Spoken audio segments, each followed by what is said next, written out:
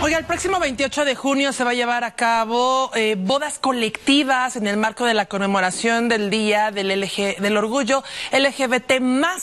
¿Quiere saber detalles? Aquí se los decimos. Ellas son Antonio y Mariana, una pareja que desde hace más de 12 años se conocen y se aman mucho. Y este año decidirán unir su amor en las próximas bodas colectivas del registro civil de la Ciudad de México. Pues para estar más establecidas, que tenga también los derechos ella y yo, los de ella y los míos, para que no haya ningún problema. Aparte, porque nos queremos mucho acudieron a las oficinas centrales para solicitar más información y así poder unir su amor el próximo 28 de junio en estas bodas de la diversidad. Siempre tengo la oportunidad y siempre le digo que la amo. Nada más.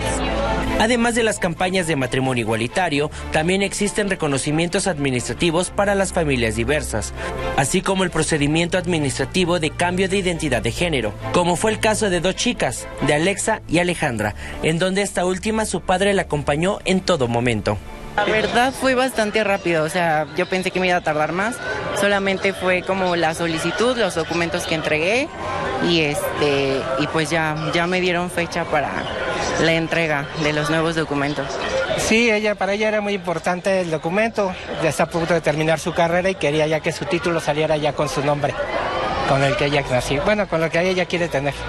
Mientras tanto, estas campañas serán totalmente gratuitas y podrás consultar a través de la página de la consejería los documentos que tienes que llevar. El año pasado fueron 120 parejas, justo en la, la campaña del mes del orgullo, y fueron 126 personas que hicieron cambio de género.